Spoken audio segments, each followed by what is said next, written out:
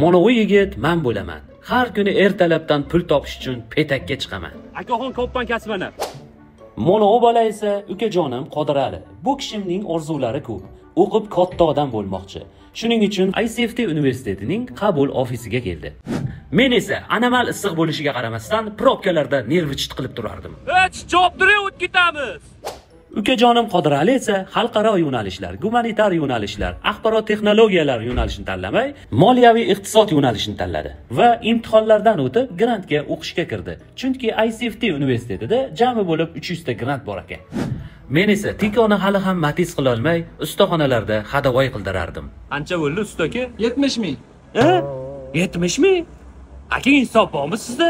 Bunday bunday yetmish ming bo'ladimi ukaginam qodirali esa o'qishni tugatishi bilan yaxshi joyga ishga kirdi va oradan hech qancha vaqt o'tmasdan o'zi orzu qilgan mashinani sotib oldida meni ko'rganda petakka keldi.